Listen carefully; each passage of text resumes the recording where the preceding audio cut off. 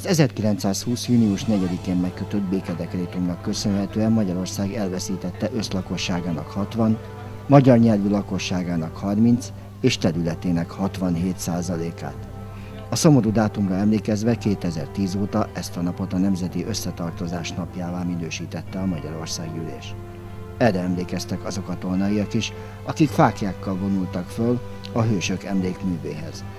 A Perszofer Ágnes polgármester ünnepi beszédében arról szólt, emlékezni kell, de sokkal fontosabb ma már az összetartozásról beszélni. Az igazság mindig erősebb a hamisságnál, még akkor is, ha hosszú ideig szemétbe sem eltitkolja erejét.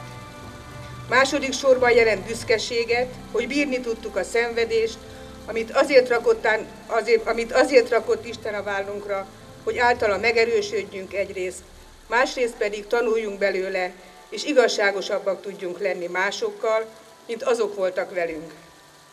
Jelent még erőt és jókedvű elhatározást is, hogy no világ, most aztán csodálkoz, ha újra kezembe veszem a kaszát, de ugyanakkor bánatot is jelent. Igaz testvéri bánatot azok miatt, akik számára továbbá is a remény maradt magyarságuk egyet nem vigasztalása. Ennyi mindent jelent magyarnak lenni. Fiatalok beleszülettek valamibe, ami főleg a mostani korosztály, akik, a, akik elfogadták a meghívásunkat, és általános iskolások, gimnazisták jöttek el a fákjás felvonulásra és a mai ünnepségre. Tehát ők gyakorlatilag a történelmi könyvekből tanultak erről az eseményről, és őnekik gyakorlatilag természetes az a lét, amiben beleszülettek.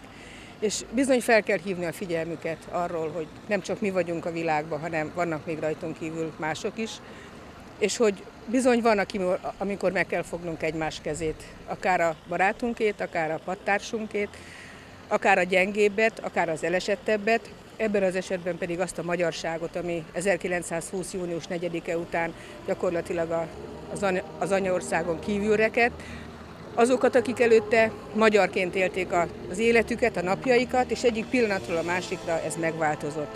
Ezt a tragédiát én azt gondolom, hogy feldolgozni nem lehet soha, de ma nem ezért jöttünk össze, hanem azért jöttünk össze, hogy kifejezzük az összetartozásunkat azokkal a, azokkal a, magyar, a nem magyarországi magyarokkal, akik nem az, az anyaországban élnek.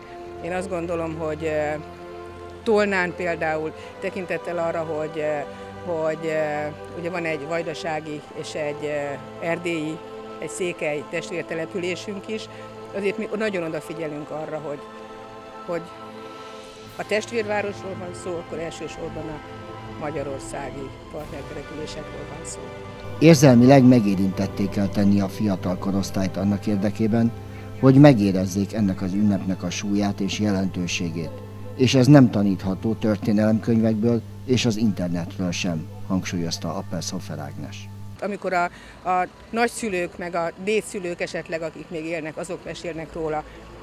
Nekem személyes élményem az, hogy az én nagymamám még fejből tudta azokat a verseket, amiket az elszakadás után az iskolában mondtak, és gyakorlatilag 95 évesen ezeket még, még mondtam minden alkalommal, Úgyhogy én azt gondolom, hogy ezt nem lehet tanítani, ezt ide kell jönni, és át kell érezni nekik.